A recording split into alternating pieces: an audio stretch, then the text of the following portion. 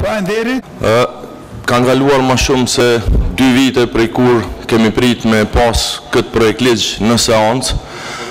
Për t'i dhënë një epilog, një prej temave që e kanë preokupu më shumti jo skenën politike, por para së gjithash qytetarët e vendit tonë, Dhe tash kur jemi kaq pranë për ta pasë shumicën e nevojshme kushtetuese për ratifikimin e kësaj marrëveshjeje, vërtet nuk mund të mos them se s'është për keqardhje që kemi, do të thotë, dallime në finesa të terminologjisë, për të arritur një tekst të përbashkët, i cili i adreson, të themi ashtu, shqetësimet apo percepcionet e secilit prej grupeve parlamentare të cilët deri tash edhe publikisht e kanë shpreh qëndrimin pro marrëveshjes.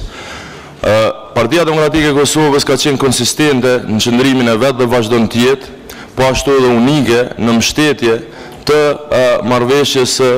demarkacionit veçanërisht tani pas edhe deklaratës së përbashkët të dy presidentëve të Kosovës dhe të Malit të Zi të cilët realisht në mënyrë eksplicite bilaterale zyrtare i kanë adresuar shqetësimet të cilat më herët i kanë pasur kundërshtuesit e kësaj marrëveshjeje dhe sinqerisht ne sot e kemi vështirë të shohim arsye të forta për të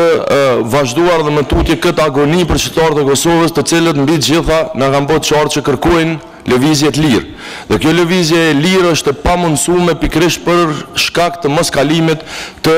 ratifikimit të këtij projektligji. Ju e thatë, zoti kryetar, që nëse ne sot votojmë për shmangie Dhe kjo shmangie nuk kalon, ne do të kemi së paku edhe dhjetë ditë para se ta kthejmë në seancë këtë projektligj. Pas dhjetë dite edhe nëse arrijmë këtë dakordim, unë kam frikën se do të jemi vonë. Dhe kjo nuk është e drejtë as para qytetarëve të Kosovës, as para partnerëve tonë ndërkombëtarë, veçanërisht kur e kemi parasysh që së shpejti do të kemi vizita nga niveli ma i lartë i Bashkimit Evropian, të cilët realisht, Sidomos pas marrëveshjes apo deklarimit të dy presidentëve kanë pritur që ne do ta kemi këtë konsensus të nevojshëm nacional për ta tejkaluar këtë problem. Ne si Parti Demokratike e Kosovës jemi të interesuar që të gjejmë një zgjidhje e cila me sukses i jep epilog kësaj çështjeje. Andaj me të vërtetë e shohim si shumë